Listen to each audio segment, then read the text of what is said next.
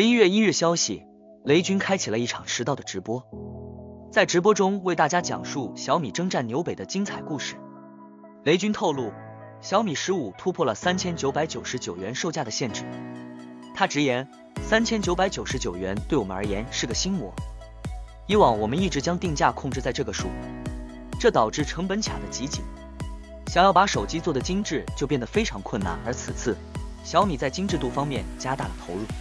雷军强调，做高端手机，首先要做到高端无短板，其次要从单纯的参数比较，向体验、感受和审美层面进化。此外，雷军还提到，在小米十五发布之前，小米内部对于其销售情况存在分歧。